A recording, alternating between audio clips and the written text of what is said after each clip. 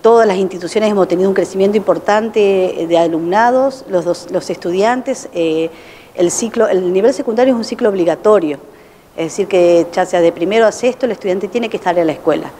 Eh, entonces, eh, lo hace en una escuela orientada como la nuestra, que tenemos ciencias naturales, educación física, ciencias sociales, humanidades y la nueva orientación que es en arte. O lo hace en una escuela de jóvenes y adultos, en una escuela de la zona rural. Eh, alternativas y posibilidades en la zona hay muchísimas y con todas las orientaciones disponibles. Así que no hay excusas para que los estudiantes estén cumpliendo su, su formación secundaria que los habilita luego para una inserción laboral o para continuar estudios. Así que sí. Eh, otra, novedad, eh, Karina, que, se ha dado en este último tiempo, sobre todo en el receso, bueno, se confirmó que se va a construir un eh, playón deportivo aquí en la, institución, es un programa a nivel provincial. Es un programa a nivel provincial, nosotros entramos en, una primera, en un primer expediente, en un primer grupo de escuelas que van a recibir estos playones, la construcción de estos playones.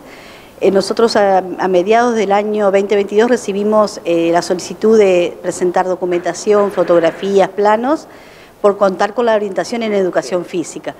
Y nos llegó, bueno, nos enteramos por la publicación que hace el Consejo General de Educación de que esos eh, playones se van a construir ahora a principios del 2023. en, nuestro caso, cuando nos mandaron la solicitud, lo, vamos a realizar en la esquina eh, de eh, eh, Emilio Franco y Saboya. Sería la esquina contraria donde está todo el edificio del nivel inicial. para aprovechar bien el patio de la escuela. Al máximo el espacio, eso es un playón que, es para hacer básquet, eh, y softball.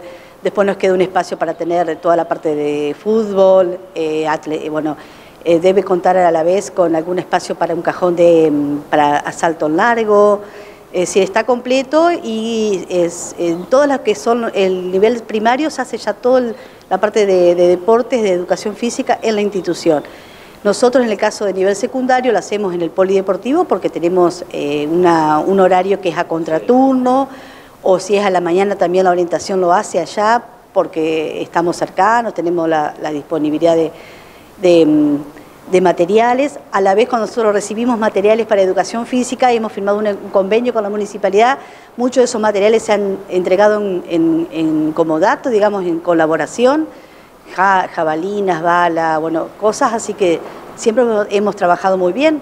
Lo mismo con la pileta de, que está de natación, que es una de las disciplinas que sí o sí la orientación educación física tiene todo el año y que nos exigen por, por currícula, así que contar ahora con el Ployan en la escuela va a ser una, una novedad importante.